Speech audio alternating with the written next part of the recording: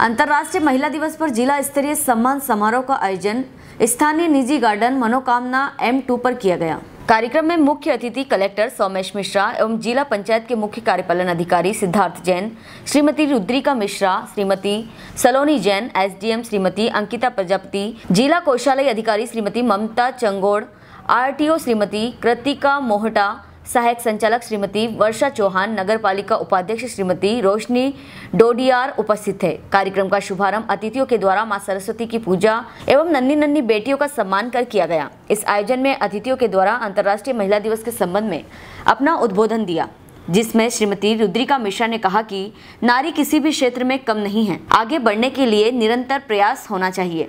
झाबुआ से अल्बर्ट मंडोरिया की रिपोर्ट। से मुझे जो चीज़ बहुत ज़्यादा प्रभावित करी है, और आज हम उन्हीं के साथ बैठे हुए हैं, वो हैं स्वास्थ्य, हमारी जो स्वास्थ्य विभाग की महिला कर्मचारी हैं, और जो हमारे जो मेनली बी की तरह काम करती हैं, आशा कार्यकर्ता हैं, महिला बाल विकास की महिलाएँ हैं।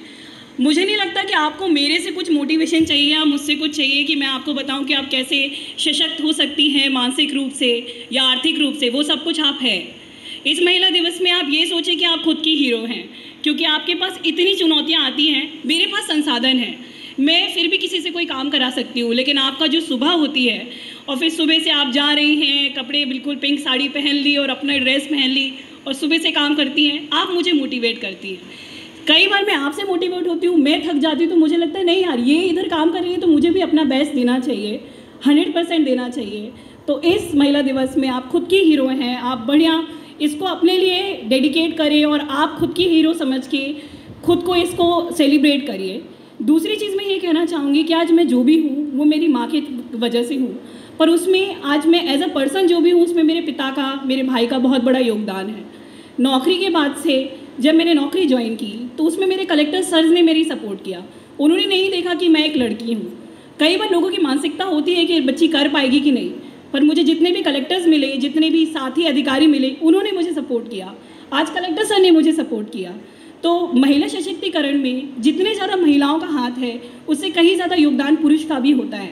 आज मेरे पति वहाँ खड़े हैं। ही इज़ ऑलवेज देयर वो हमेशा मेरे साथ खड़े रहते हैं कि नहीं, तू परेशान मत हो आई एम देयर किसी भी तरीके का भेदभाव नहीं होता। कोई भी काम हो, मैं लेट जाती हूँ, कई बार खाना भी बन जाता है। तो ये बहुत छोटी छोटी चीज़ें हैं।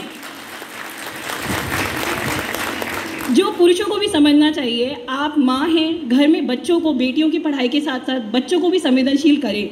बच्चों को भी बताएँ कि कौन, कोई भी काम छोटा बड़ा नहीं है। मैंने भी गेहूँ पिसवाया है, मैंने भी बिजली के बिल भरे हैं और मेरे भाई ने चाय बनाया और खाना बनाया है।